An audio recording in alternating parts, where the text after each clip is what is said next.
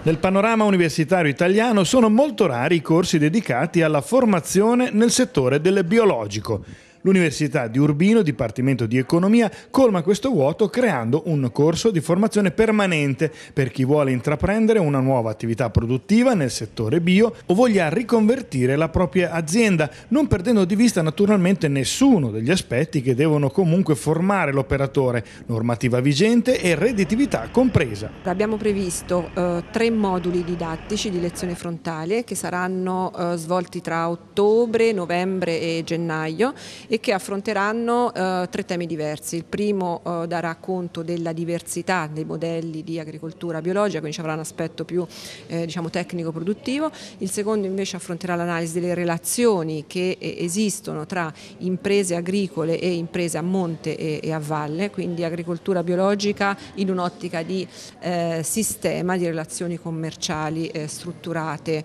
nell'ambito del sistema agroalimentare. E il terzo invece affronterà soprattutto l'analisi dello scenario, quindi andamento del mercato e soprattutto analisi delle politiche. Le Marche vantano l'invidiabile situazione di avere il 20% della superficie coltivabile occupata dal biologico, con 2.957 aziende. Nelle principali filiere dove sono presenti sono quella dei cereali, della zootecnia delle carni bianche, del vino e dell'orearia, con il consorzio Marche Biologiche che vanta un fatturato stimato in 30 milioni di euro, con oltre 300 aziende socie. Occorre che la politica agricola sostenga modelli produttivi diversi, l'approccio di filiera e di distretto sono i due approcci che gli imprenditori agricoli devono assecondare, ma per farlo occorre avere una capacità professionale eh, che non è scontata e, e quindi per assicurare quindi una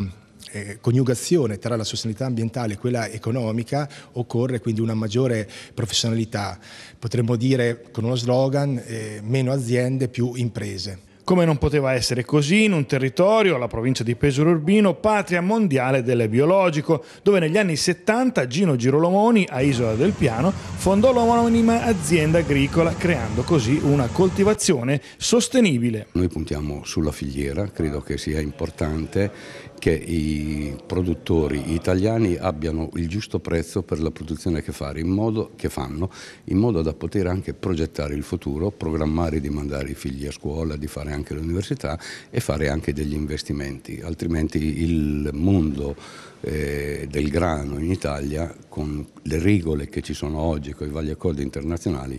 è destinato pian piano a sparire. Le domande per potersi iscrivere al corso di formazione permanente dovranno pervenire all'Ateneo entro il 15 di ottobre del 2018.